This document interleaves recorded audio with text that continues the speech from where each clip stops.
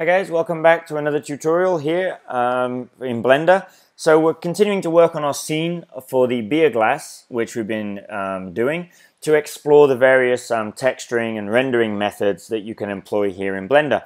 So this scene has been particularly useful for that because we've covered um, liquids, we've covered some um, like foamy liquid that goes on the top of our beer there, we've covered glass, we've covered lighting the scene, and now we've got something that looks like this.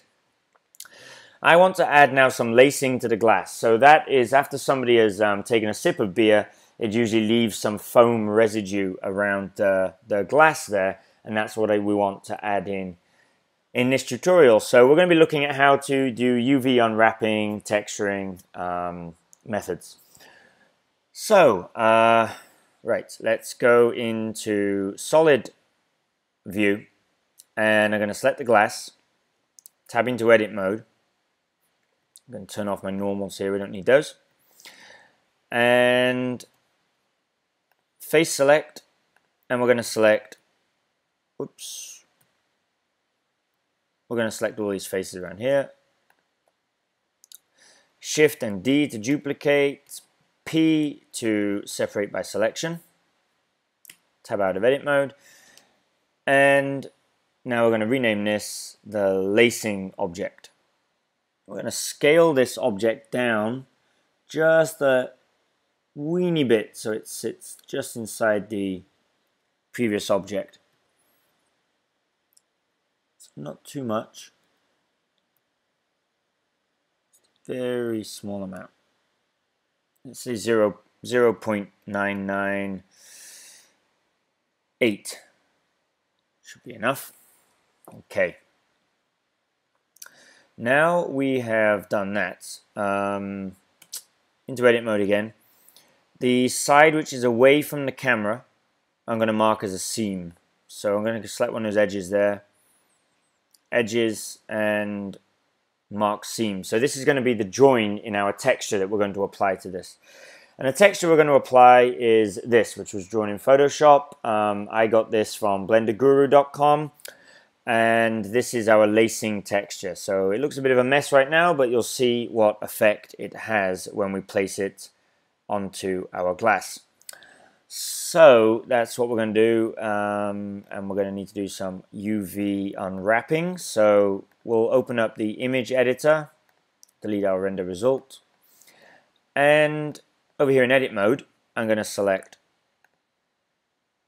all of those faces uh, I want to go to a front view, select all and UV unwrap and we'll go for cylinder projection and that will unwrap everything over here and give us a nice straight line.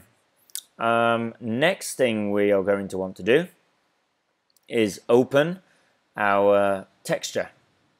So go to wherever that texture is. You can download it, by the way, in the link below this video. Um, liquids beer lacing. Okay. Now we have that. I'm just going to scale on the y-axis my unwrapped object there.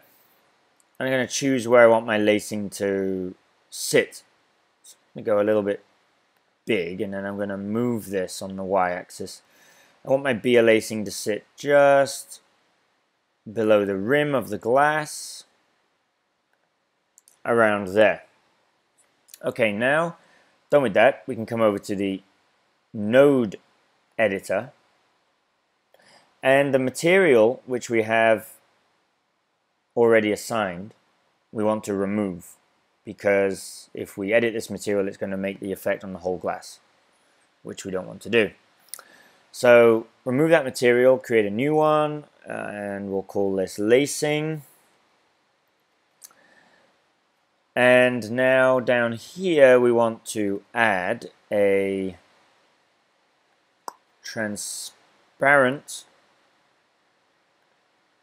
shader. We want to add a mix shader. Just going to drop into there. And then we want to add a image texture. For the image texture, we're going to use that same one. That's we were just looking at, our beer lacing, non-color data and plug that into the color here. So now if we go to our camera view and we render, you'll see now we have our beer lacing around our glass. If you come over into edit mode there and select our lacing, tab into edit mode, now you can drag this around to adjust our lacing. So if you want to scale, say, in the z-axis, could make things wider.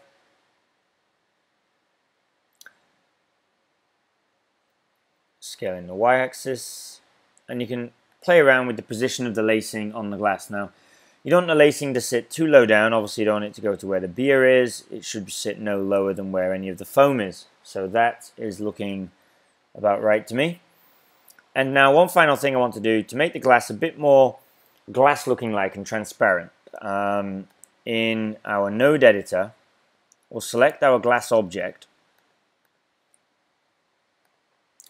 And I'm just going to make a few little changes to this. So in the nodes here, we're going to add a transparent shader, we're going to add a mix shader, which will go in the middle of there.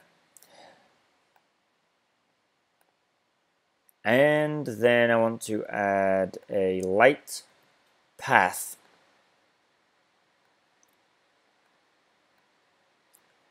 And finally, we're going to add a math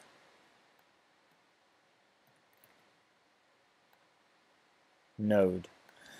Okay, so the math node will be add, and then we're going to choose if it's if it's a shadow or if it's a diffuse ray. I want to add those together, and I'm going to plug that into here.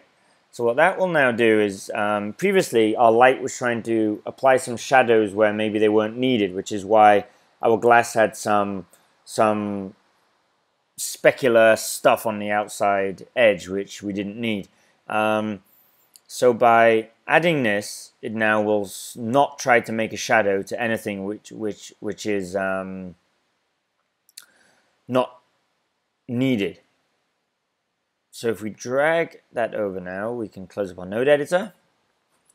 We now have quite a nice looking beer glass there with some lacing around it. And in this tutorial, you've learned how to do some more advanced rendering techniques with the node editor and also how to do a UV unwrap and begin some basic texturing. So I hope you found this useful. Don't forget to hit the like button and subscribe to my YouTube channel so you can keep up to date with all my latest tutorials, tips and hints for Blender. Thanks for tuning in and I'll see you next time.